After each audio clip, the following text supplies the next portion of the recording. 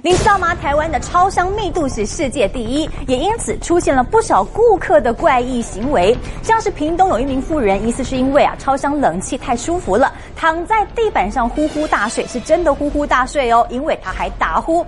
另外看到这名年轻人，他竟然像弹涂鱼一样用弹的弹进超商，让人看了相当傻眼。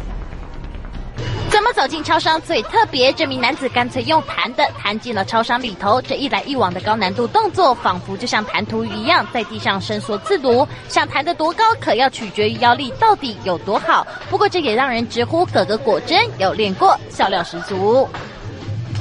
进攻超商还不够，连退下都要应急一下。不过超商店员可都见怪不怪，因为超商太便利，什么事情都有可能会发生。就像这位妇人实在太累了，干脆把超商当成了自家房间，躺在地板上直接呼呼大睡，吓得不少民众还以为出了大事情。有人就是把他们全家每天都带来吹冷气，他们也没有躺着，我们就已经很受不了费。那如果是这样子，我绝对会去跟他讲。或许是冷气吹得太凉爽，妇人睡到还会打呼。当时就有民众拍照 po 网，还有人说真想送他一匹蛮牛提神一下。事后还出动了远警来劝离，但把超商当成自家大床的离谱行径，让人看了直摇头。记者马玉文、周梦汉，屏东报道。